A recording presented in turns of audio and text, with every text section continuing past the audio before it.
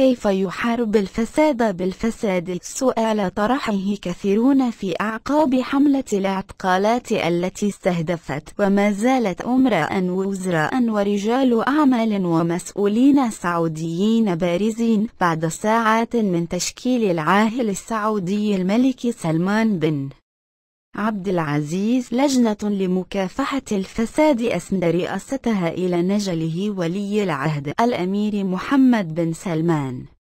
وأمام ما تم نشره من تسريبات حول التهم الموجهة للموقوفين والتي طمعت بين اتهامات بغسل الأموال وتقديم رش وابتزاز بعض المسؤولين وتوظيف وهمي وإرساء مشاريع مختلفة واستغلال نفوذ تساءل متابعون إذا كان هذا فساد الأمراء والوزراء فما هو فساد محمد بن سلمان نفسه مدعي محاربة الفساد؟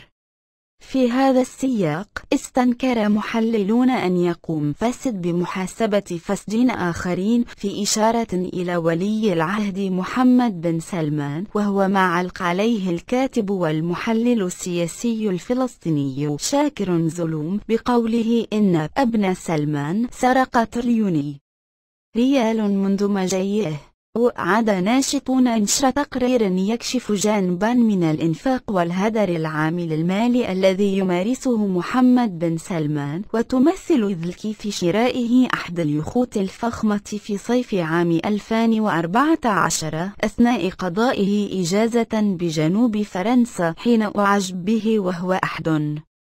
اليخوت التي كان يملكها رجل الأعمال الروسي يوري شايفلر وعلى الفور طلب محمد بن سلمان شراءه بعدما دفع ثمنه 550 مليون دولار بحسب الصحيفة الأمريكية.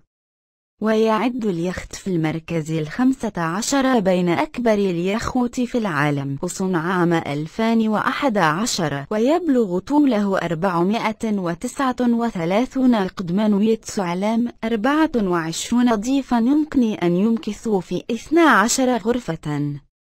كما يضمن مهبطي طائرات وحائط تسلق ومنتجع كامل التجهيز إضافة إلى ثلاثة أحواض سباحة وغرفة تحت الماء بحسب صحيفة نيويورك تايمز. إذا أعجبك الفيديو لا تنسى الإعجاب والتعليق ولكي يصلك كل جديد. اشترك الآن.